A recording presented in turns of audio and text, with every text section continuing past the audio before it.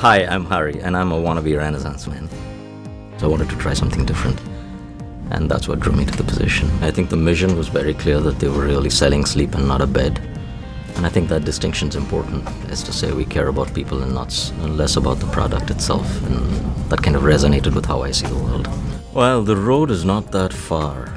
Uh, if you look at that beloved brand, I think the love comes from the passion we have for our product.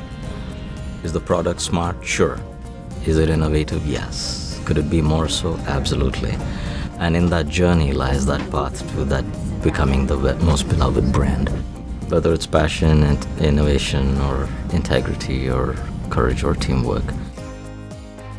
You couldn't really run a firm that cares without having those five things in place. I've been here 10 months and I think I've built a solid network of people who would catch me if I fall.